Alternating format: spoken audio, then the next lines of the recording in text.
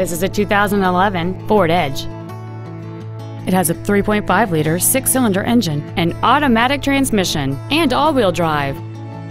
Its top features include a low tire pressure indicator, traction control and stability control systems, big 18 inch wheels, and satellite radio.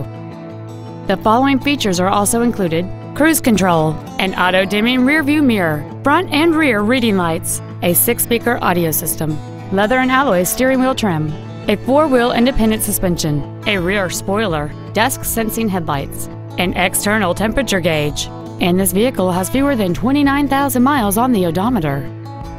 This automobile won't last long at this price. Call and arrange a test drive now. Longmont Ford is dedicated to doing everything possible to ensure that the experience you have selecting your next vehicle is as pleasant as possible. We're located at 235 Alpine Street in Longmont.